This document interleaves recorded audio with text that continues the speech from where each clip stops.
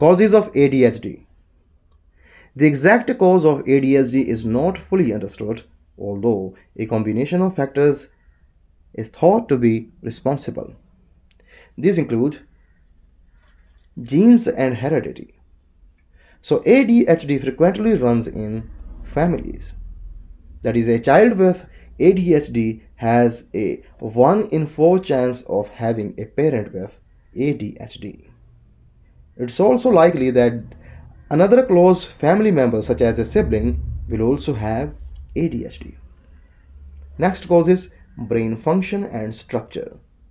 Studies involving brain scans have suggested that certain areas of the brain may be smaller in people with ADHD, whereas other areas may be larger.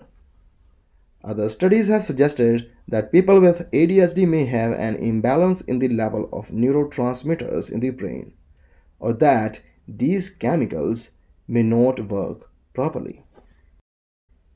Groups at risk. So, certain people are also believed to be more at risk of ADHD, including people who were born prematurely, that is, before the 37th week of pregnancy, or with a low birth weight. People with epilepsy and with brain damage, which happened either in the womb or after a severe head injury later in life.